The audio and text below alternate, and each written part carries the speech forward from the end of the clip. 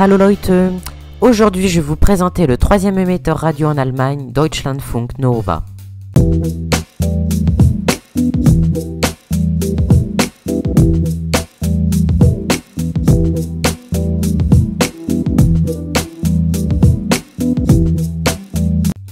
Deutschlandfunk Nova est la troisième station de Deutschland Radio et a été diffusée pour la première fois le 18 janvier 2010 à 6h du matin sous le nom de D Radio Wissen.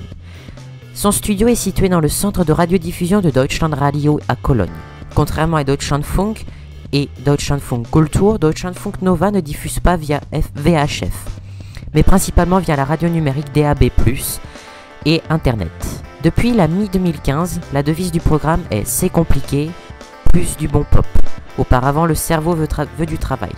Les réalisateurs de Deutschlandfunk Nova sont Christian Schutte et Lena depuis juin 2020, après que l'ancien directeur de programme Ralph Müller-Schmidt soit passé à Deutschlandfunk Kultur.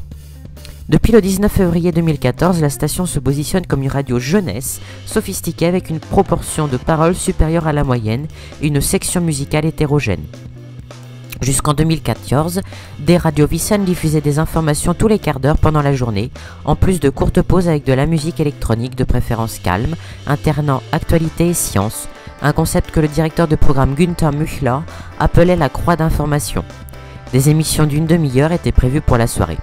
Les contributions étaient livrées par les deux autres programmes complets de Deutschland Radios et les radiodiffuseurs ARD. 28 postes ont été créés pour le programme.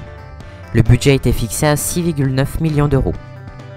Les émissions les plus écoutées sont Eine Stunde History, Das perfekte Buch, Ab 21, Eine Stunde Liebe et Weltempfänger.